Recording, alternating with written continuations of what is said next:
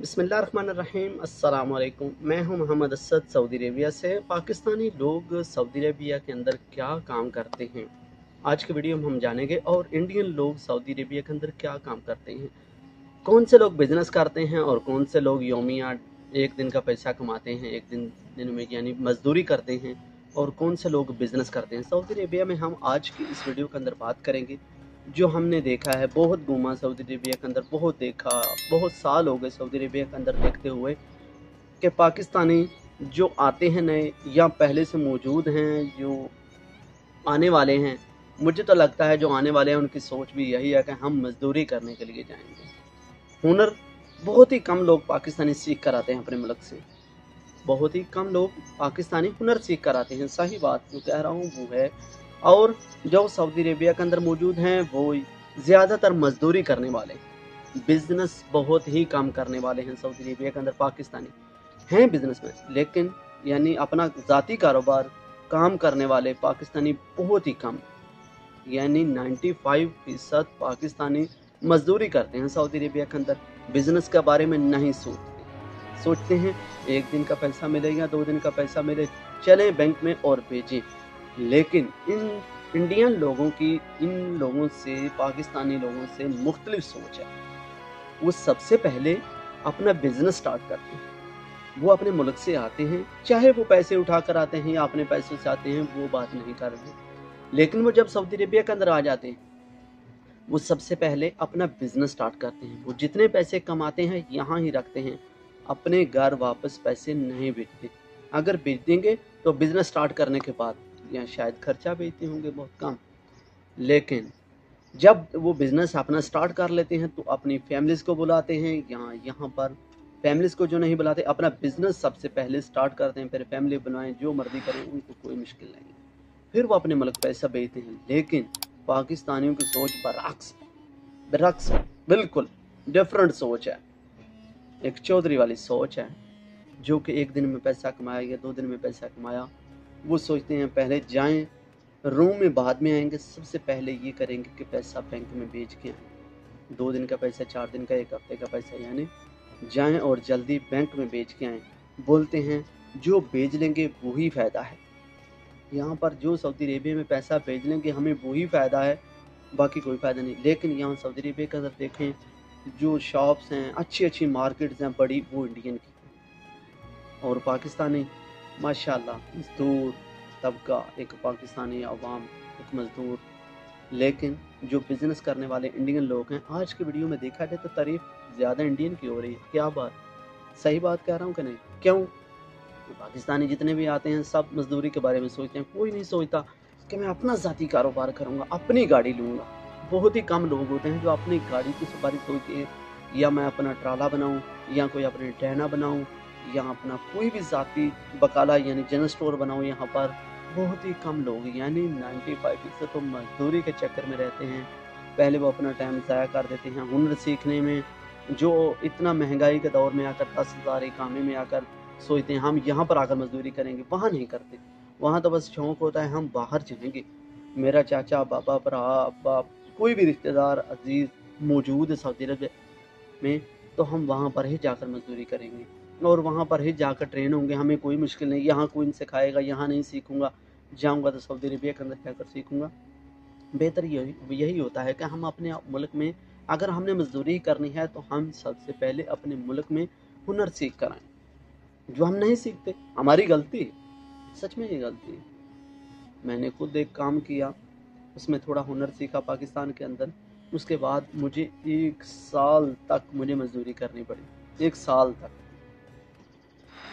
तो जब मैं स्टार्ट हो गया, फिर दो सौ रियाल दिहाड़ी कमाने लगा। जब लेबर था तो 120 रियाल कमाता था। 120 रियाल दिहाड़ी कमाता था। कभी बहुत ही मुश्किल से मुश्किल काम किए मैंने।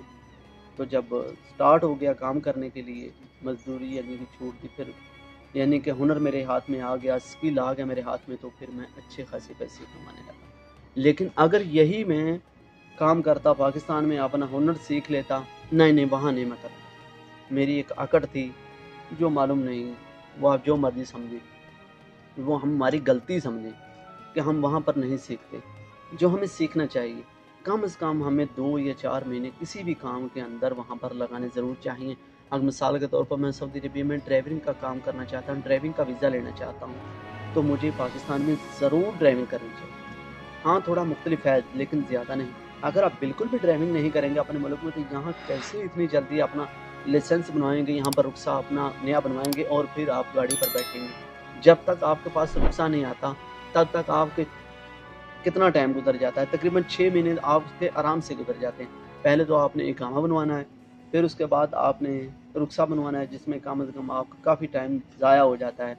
कभी आप पास नहीं होते, एक ट्राई दो दो ट्राई दो, तीन ट्राई दो, फिर आपके लिए मुश्किल से जाकर आपके पास होता है। तो तब आप जाकर गाड़ी पर बैठते हैं, फिर पैसे कमाने के काबिल होते हैं। अगर यही हम आप अपने मुल्क के अंदर काम कर लें तो ये बहुत ही बेहतर होगा, बहुत ही अच्छा होगा और बहुत ही फ़ायदेमंद होगा हमारे लिए। जो यहाँ पर हम टाइम ज़ाया करते हैं, थोड़े पैसे कमाते हैं, वहीं अपने मुल्क के अंदर बैठ कर सुबह जाएँ और शाम को वापस आ जाएँ। कम से कम दो महीने, तीन महीने हम वहाँ पर काम करें तो हम हुनर सीख जाएँगे और यहाँ पर सऊदी अरबिया के अंदर आकर काम कर लेंगे और अच्छे खासे आते ही पैसे कमाएँगे और अपने वीज़े के पैसे, जो भी कामे के पैसे होते हैं, हम हम खुद ही कमा कर अपनी अपना ही काम लगवा लेंगे अगर जब हम वहाँ पर मजदूर होंगे, लेबर होंगे, जो बिल्कुल भी काम नहीं जानता, लेबर है, अनपढ़, चिट्टा अनपढ़ अनपढ़ लेबर है, उसको किसी काम का नहीं पता तो भाईजान एक सौ रियाल या एक सौ बीस रियाल, कई शहरों में तो ऐसे है अस्सी रियाल दिहाड़ी मिलती है तो भाईजान सोचें कि दस हज़ार रियाल का एक काम है, तकरीबन तो वो आदमी लगवा सकता है। खुद अंदाज़ा कीजिए, एक एक दिन में तीस दिन होते हैं, अभी काम भी बहुत कम है, लेकिन तीस दिन में एक कितने पैसे आदमी कमा लेता है? खुद अंदाज़ा कीजिए, एक सौ रियाल देने लगा लेंगे, एक सौ बीस का हिसाब लगाएँ, तब भी देखें। रूम का पाँच से छः सौ रुपया रूम का खर्चा है कामे का टोटली दस हज़ार रुपया देना है। तीन महीने के अंदर अंदर क्या वो अकेला लगवा सकता है? नहीं।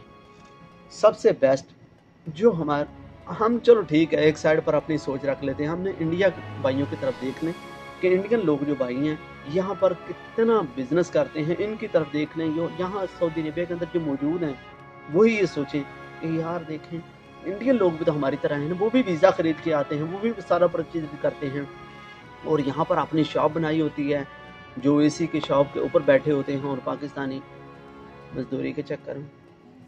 हम पैसे कमाएँगे दिहाड़ी कमाएँगे सारा दिन धूप में सड़ेंगे तो फिर जाकर 120, 130 या 200 रुपया कमाएँगे और घर भेज देंगे दस्ती दस्ती हम नहीं सोचेंगे कि हम यहाँ पर कुछ ना कुछ छोटा बिज़नेस करें।